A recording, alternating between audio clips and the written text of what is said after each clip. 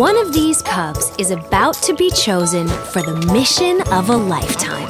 Her objective? Help expand the wild panda population.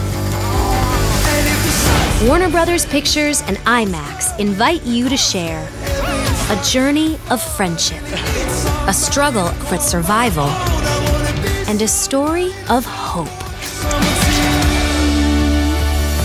Pandas, rated G, coming soon.